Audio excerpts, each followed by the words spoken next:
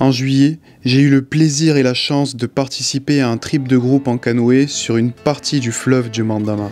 Une aventure hors du commun de trois jours et deux nuits entre le barrage hydraulique de Tabou et la ville de Tiasalé. Je vous raconte en vidéo mon expérience exceptionnelle. Avant ça, je dois vous dire que ce voyage m'a coûté mon iPhone qui a pris l'eau. Voici les quelques prises que j'ai pu sauvegarder.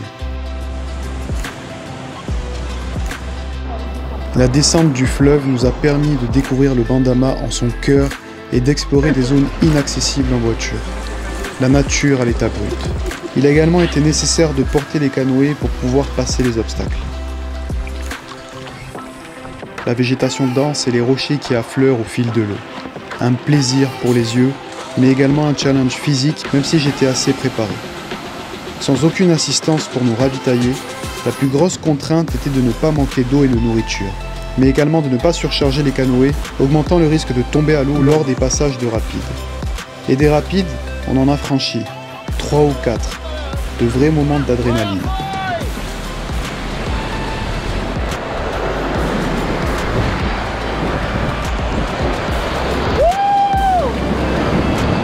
Voilà. T'es sérieux? Ouais. T'es sérieux? Notre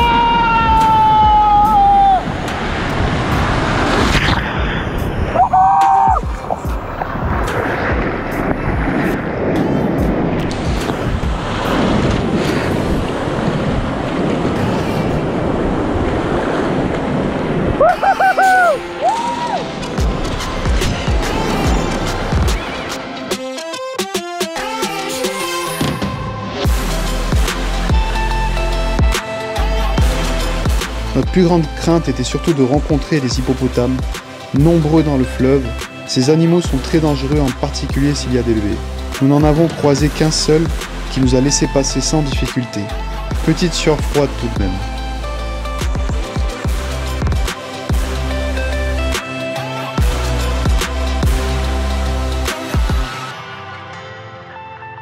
Si vous êtes arrivé jusqu'ici, c'est qu'on a la deuxième partie de la vidéo. Un mois plus tôt, on descendait le Bandama et aujourd'hui, on s'apprête à descendre le fleuve du Sassandra, qui est l'un des plus grands et plus larges de Côte d'Ivoire.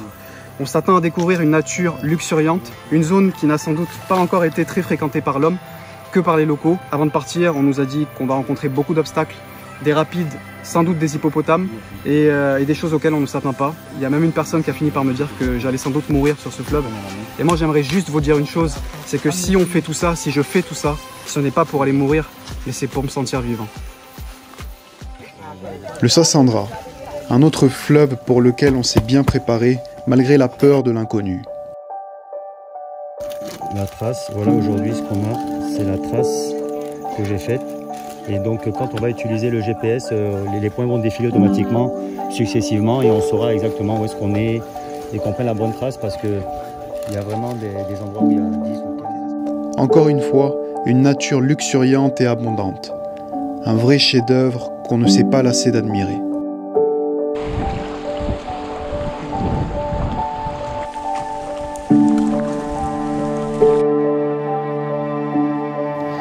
Il y a eu quelques obstacles, quelques rapides, mais nous avions surtout eu la chance d'avoir un courant d'eau maîtrisable.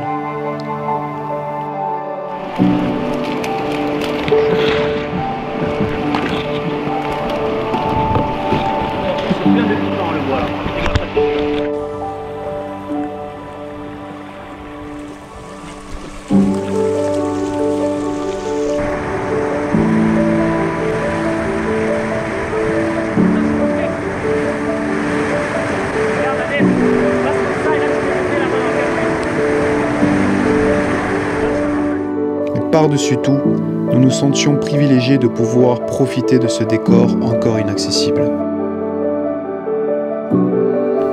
Et puis les conditions météo se sont dégradées.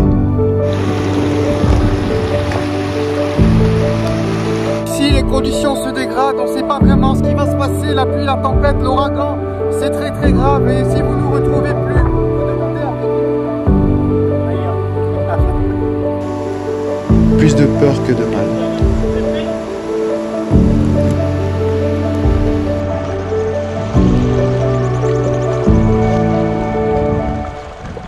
Et quand la nuit est arrivée, il fallait rapidement trouver un lieu où installer notre camp. Ok, alors on vient de trouver euh, un endroit sablonneux.